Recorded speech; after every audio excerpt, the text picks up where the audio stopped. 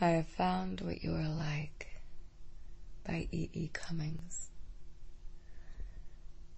I have found what you are like, the rain, who feathers frighten fields with the superior dust of sleep, wields easily the pale clap of the wind, and swirled justly souls of flowers strike the air in utterable coolness.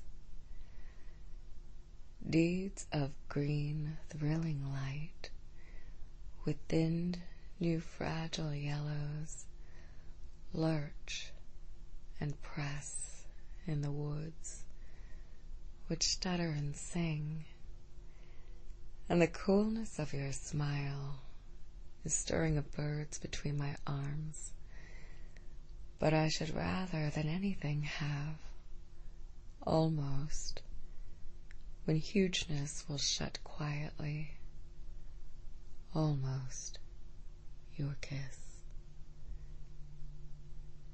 That was I have found what you are like by E. E. Cummings. Thank you.